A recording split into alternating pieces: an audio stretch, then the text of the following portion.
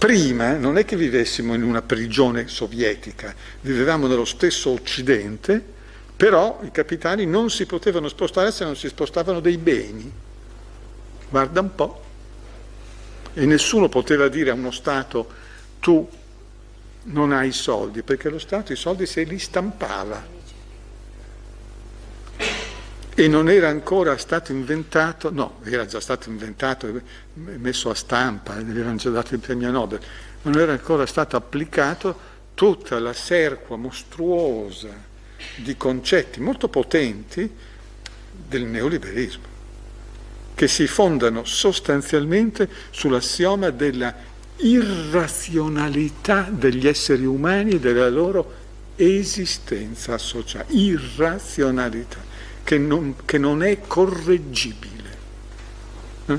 Per cui non è nemmeno vero quel che dicevano i marginalisti, cioè esiste il mercato perfetto. No, il mercato è sempre imperfetto e non può essere che imperfetto. Gli uomini vivono immersi in un sistema di relazioni di cui non sanno nulla.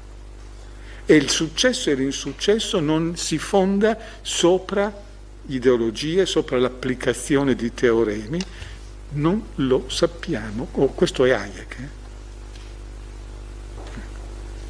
Per cui la, la, più grande distruzione della soggettività moderna l'hanno fatta, inventata dai liberali, l'hanno fatta i neoliberali.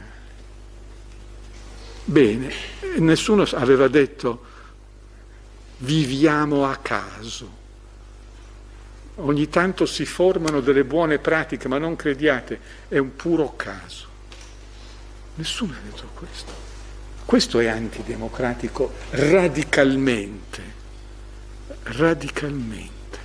Cioè l'idea che l'opacità è ciò dentro cui tu sei in me. Questo è pensiero negativo sul serio. No? Sei immerso ineluttabilmente dentro il non sapere, non il logos, ma l'ignoranza è il motore della società e della storia. Sic. Da cui un sistema potentissimo, perché tutto ciò è pura potenza, e assolutamente instabile. Naturalmente le povere sinistre che erano ancora lì, col piano, il progetto, i valori,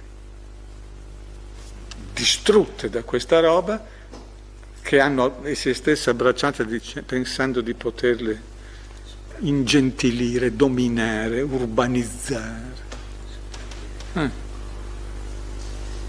E adesso ridotte al, a interrogarsi sugli aspetti marginali dell'esistenza collettiva, individuali, privati, che poi vanno difesi finché si vuole, ma non ti salvano, non, ti, non salvano una società. Una società non diventa giusta per quelli, diventa giusta quando torna a essere fondata, come dice l'articolo 1 della Costituzione, sul lavoro e non sull'algoritmo e non sul mercato e non sull'ignoranza. Dice non lo sa più nessuno, beh, qualcuno di noi lo scrive, molti lo sperimentano dolorosamente sulla propria esistenza, se questo qualcuno che scrive, non io, e riuscisse a parlare a quelli e soprattutto se in mezzo ci fosse un partito, ma non c'è. E, e non voglio che qualcuno mi dica che c'è perché sennò divento anche cattivo. Ehm, non c'è, non c'è, non c'è. Eh, se però, però non, oggi non c'è, domani chissà. L'evento. Tutto punto. L'emergenza. Un'emergenza positiva. L'Ereignis. Però, ripeto, non stiamo dicendo assaltiamo la fortezza del potere, perché il potere non è una fortezza. Sappiamo che poi se no si ripete tutto uguale, lo sappiamo. No, ma non, non è una fortezza oggi. Eh. E comunque sarebbe un ripetere il già fatto. Ci abbiamo già provato. Eh, non so se ho risposto alle vostre, no, alle vostre domande. C'è la questione un po' della geopolitica e della democrazia Eh, Ah, lì, lì c'è poco da dire. No, eh, No, lì c'è poco da dire perché... la- cioè, Seguiamo appresso gli Stati Uniti, punto e basta. Poi cerchiamo... allora, io vorrei dire questo però, eh, attenzione, tutti quelli che dicono Europa, Europa, e io non sono fra, io non sono fra quelli, adesso vi dico anche perché, intanto perché non ci credo, perché, ripeto, credo nei cicli storici, ma, ma se anche per un qualche miracolo, dopo Napoleone e Hitler, qualcuno riuscisse a fare una roba un po' meno sanguinosa, ma riunire l'Europa anche solo in una federazione, una federazione come sono una federazione degli Stati Uniti, eh, di stati non sovrani, perché se, se una federazione di stati sovrani non è una federazione ma è una confederazione. Bene, allora, eh, l'obiettivo qual è? Giocare al gioco delle grandi potenze? Per cui avremo un pentagono europeo, le porte aeree europee, le bombe H europee, la politica di potenza europea? Pensate che ce lo lascerebbero fare? Cioè arriva un altro giocatore al tavolo del poker e dice ci sono anch'io? Su. Su. Cioè, no- non pensate che si- metterebbero d'accordo i russi e gli americani per sterminarci prima? Eh, guarda, nasce una superpotenza nuova fra gli applausi delle vecchie? Allora, diciamo così, dentro, dentro una partita geopolitica ci si è sempre per, per necessità, come, come siamo dentro la forza di gravità. Il punto è, ci siamo come soggetti sovrani attivi o no? Se ci siamo come soggetti sovrani attivi, allora vuol dire che abbiamo una potenza da proiettare. Tant'è vero che quelli che questa cosa la capivano e tuttavia credevano nell'Europa, per di più nella UE, figuriamoci, dicevano Europa potenza civile, cioè eh, l'Europa è una potenza solo se le potenze non fanno la guerra e solo se le potenze non fanno nemmeno proiezione di potenza. O che è come dire che io sono un campione mondiale dei pesi massimi se non facciamo a pugni. Che insomma, ecco, la, la geopolitica non è democratica, è responsabile o irresponsabile. la democrazia. La democrazia è un fatto Però Viti Brandt, Aldo Moro hanno fatto una hanno fatto una politica una, con una qualche autonomia. E in effetti quelli l'hanno fatta troppo, l'hanno pagata. Ecco. Eh, ho capito, appunto. però ora non, ci si- non viene manco un'idea, non viene manco l'idea, capite? Questo è il punto. Cosa- Ma l'altro giorno, una cosa intermedia. l- l'altro giorno mi dicono che per, te- per tv, quando c'è stato, io non le guardo mai per motivi religiosi, ma eh, c'era un eh, talk show, non so, in cui c'era anche Prodi, e che a un certo punto ha detto, beh ma è evidente che se questa qui non si piegava alla volontà americana e europea, il suo governo cadeva in un mese. Ma può essere anche non un atto, un momento rivoluzionario, può essere anche che a un certo punto i tedeschi capiscono che quel gioco che hanno fatto imponendoci l'euro adesso si rovescia contro di loro e non è più da giocare. Eh? Saranno i tedeschi, mi dicono forse. Ma io i tedeschi li vedo molto disorientati, eh, vorrei dire. Cioè, non Ma anch'io, quello, l'attuale cancelliere non si capisce che accidenti stia facendo effettivamente. Bisogna dire che, ripeto, esistono cicli storici, cioè noi possiamo assicurarci una dignitosa vecchiaia, non di più. Con i tempi lunghi siamo tutti morti, come diceva Keynes. non è manco questo, eh. Oh, ad oggi la prospettiva No, non è questa. Vabbè, Era una metafora, era una metafora, cioè gli stati europei possono garantirsi una decorosa vecchiaia. L'idea che vadano ancora in giro per il mondo come sovrani, qui non c'è niente, qui io quindi ho richiamato prima, non era, era una cosa realistica, però con, una, certa, auto- con una- un interno che sussisteva. Ecco, Ecco, io questo questo è punto. Oggi non ci sono le condizioni. Eh, cioè, non ci sono le condizioni, non ci sono le condizioni. sono state demolite, sono demolite, lui almeno così eh, ci permette di capire, sono state demolite già dal 45. Eh, sì, nel Eh, 45, però in realtà era, sì, Sempre c'è le- tante cose. nel, nel 45 sono state demolite alcune, cioè quelle strategico-militari. Occhio perché a metà degli anni Esatto, 70 ti c'era l'idea che, che sì, no, dicevo No, che non c'era, non a c'era. metà degli anni 70 ancora c'era questa sensazione per cui questa democrazia pretende troppo. Eh, stanno in Europa sì, e anche in altre parti del mondo si sono messi in testa di fare delle cose che sono ipersociali e chissà dove vogliono andare, ma non solo in Italia, c'era Olof Palme, eh, lo sappiamo, eh? e c'è stata una reazione che è stata organizzata. Naturalmente la rottura di Bretton Woods, che è stata una scelta geopolitica americana, anti-europea innanzitutto, ha creato le premesse per. È stata una scelta politica, appunto, è geopolitica. È partita una grande eh, operazione ideologica e parliamoci chiaro, in Italia noi abbiamo avuto un colpo di Stato camuffato, è stata fatta la più grande operazione coperta dell'Europa occidentale che si è chiusa il 9 maggio del 78. Dico il falso? Non credo. Abbiamo, mm. eh, se uno guarda che fine hanno fatto Olof Palme e Aldo Moro, Veramente, ma allora detto in un altro modo, non è che perdi una guerra mondiale gratis. Eh? Ecco. Sì, sì, però ora è come se fossimo proprio qui a dire, vabbè, non solo è finita tutta a zero, al grado zero, ma ci piace enormemente, noi riusciamo a non pensare, no, non noi, i, i, le maschere di pseudopolitica che ci sono in giro, certo. la chiacchiera, eh. Certo. Cioè, se, allora, il nodo è quello che abbiamo detto, è la ricostituzione delle condizioni interne di una relativa realistica autonomia politica. Sì, sembriamo eh. tre. eh, questo è un nodo grande, comunque, ma per carità, anzi, diciamo così, siccome c'è spazio per, per, per, una o due domande se volete, fino alle, fino alle 7 e mezzo, 7 e 35 possiamo arrivare. C'è qualcuno che vuole intervenire, giustamente, però deve, venga qui, venga qui, perché almeno... Eh... Sì, se no esageriamo, eh. sì. quella specie di... Semmai è, è solo una suggestione, come si dice, nostalgica, anche alla luce di quello che diceva il professore.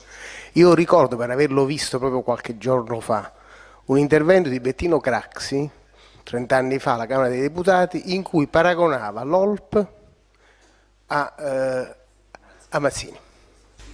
La politica è potere di soggetti collettivi, quasi sempre, cioè che ci sia un soggetto singolo che fa politica da solo, non usa più, ecco già Napoleone, ma insomma eh, non usa più soggetto collettivi, noi non ne abbiamo, questo è il punto vero. Poi oggi l'immagine del mercenario mi è venuta in mente perché io avevo parlato dei giovani bravi o ricchi, o ricchi e bravi, o poveri e, bravissimi, che fanno lo sforzo di andare nelle università dove si impara a essere parte del sistema del comando mondiale. Cioè, però attenzione, questo ti, ti, porta, a parte che io, come dicevo al mio, al mio dentista cattolicissimo che aveva mandato il figlio alla London School of Economics, ho detto guardi che è peccato mortale. Eh, eh però vabbè, ti, ti, portano via l'anima, va bene, no? diventi, diventi, uno che comanda in nome del neoliberismo, bene, mm, però vai in giro per il mondo e sarai sempre eh, l'uomo di qualcuno, di quei qualcuno di quelli che hanno più soldi della metà degli stati mondiali, no? ecco. cioè, è, è, qui che vai a sbattere. Cioè, c'è una tale illogicità, una tale irrazionalità di questa situazione. Sì, è vero, eh, 30-40 anni fa nessuno avrebbe pensato che cosa è successo. Elettronica e deregulation, crollo deliberato del... Comunque, mossa politica americana, 71, eh, produce la, la, fine di un ordine, era un ordine quello, eh quello di Bretton Woods era un ordine, non è che comandavano gli americani, non è che comandasse l'URSS, comandavano gli americani. Poi quando hanno avuto problemi perché facevano inflazione per la guerra in Vietnam, così hanno detto bene, mi salvo io e voi andate a morire ammazzati. Dieci anni, ma meno, sette, otto anni di crisi, di interregno, gli anni 70, ma sì, praticamente con l'assassinio di Moro si chiude un'epoca, l'anno dopo viene eletta Thatcher,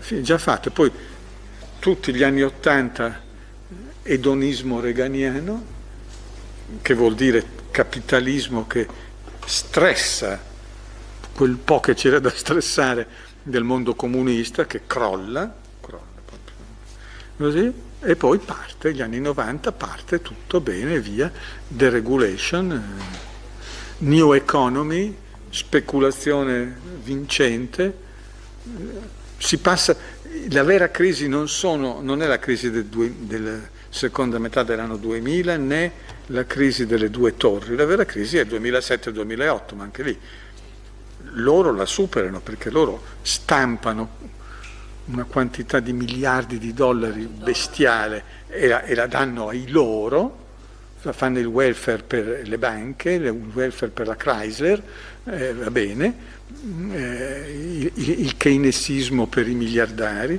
va bene, noi pariamo la botta con più austerità, genialmente, con più austerità eh, ed eccoci qua. E, e, no, e non cresciamo più, non abbiamo più niente da distribuire, abbiamo solo da erodere le posizioni di quelli che si sono fatti una posizione perché sono nati all'epoca del boom demografico, cioè mia, le signore non hanno età, eh, mia, eh, si può erodere lì, ma non c'è niente da, da, da distribuire. E un giovane di oggi non avrà mai la pensione, ma mai. Eh, eh, procedere senza... Questo può essere un disegno, ma è un disegno cieco, perché si fonda sopra l'idea della infinita sopportazione dei cittadini. Ecco, infinita sopportazione, perdita totale da parte dei cittadini della, di ciò che è quel minimo di ricerca di prevedibilità della propria esistenza che fa parte dell'animo umano. No, invece no, non c'è, non c'è prevedibilità. O se c'è, eh, ti do 1500 euro al mese, fateli bastare per tutta la tua sporca vita. Eh, ah, hai studiato, ti sei preso il dottorato, a 40 anni hai vinto un concorso per diventare professore di scuola dove verrai maltrattato dai, dagli studenti e dai loro genitori, fateli bastare perché non ne avrai mai di, più. Basta. Insomma, diciamo così, noi abbiamo conosciuto un mondo diverso. Tu e io, lui forse anche. Adesso i patti sono questi. Eh? Ma guarda che sono... Le sanno benissimo, eh? non è che non gli stiamo rivelando come nascono i bambini, lo sanno già. Ecco. Eh, non è che un giorno si stancheranno, faranno... Comunque in questo libro c'è perfino un'apertura sui beni comuni. Lo, eh, per questo significa che è arrivata la frutta, perché sennò mai e poi mai. mai. E poi mai. mai e poi mai. E invece no, perché si vede che veramente la disperazione è tale che Vai. Cioè, il punto è questo, non, non può essere no, un'unica no, logica quella che guida una società. No, che se è l'unica logica è totalitarismo. Eh, scusa, il povero Rodotà faceva una cosa seria, cioè, alcuni beni possono essere comuni e tra l'altro aveva anche regolata la cosa bene dal punto di vista giuridico. Il punto è questo, se c'è un'unica logica che guida la società è totalitarismo. Eh certo, però una società deve, se è plurale sono totalitari tutti gli altri sono tutti putiniani, tutti Beh. totalitari, solo, solo, quello che... Io quello trovo tremendo, guarda. Oh, ha andato, del, andato del putiniano a Lucio, a Lucio Caraccio. Sì. Eh, Dunque. Eh. Vabbè, e poi la discriminazione inumana umanitaria di cui parlava certo, il. Eh, certo. Il nemico assoluto eh, il nemico morale. Il criminale, certo. il criminale. Ma poi lo fanno così, eh. Cioè, non ci si ferma. per questo dico, ma che facciamo? Non ci si ferma davanti al ridicolo. Cioè, stiamo con loro. È putiniano il Papa. Sì, sì, è vero. Poverello. Il ridicolo più totale è stato varcato tranquillamente, no? Perché poi chiunque dicesse ma forse c'è un motivo, non Vabbè, lo, ma comunque vediamo, cerchiamo di capire. Capiamo, putiniano. Putiniano. anche il segno di una decadenza intellettuale. Sì, la decadenza eh no, dei sistemi eh, argomentativi eh, proprio. Eh, zero, zero, zero. Vabbè. Va bene. Grazie. Grazie.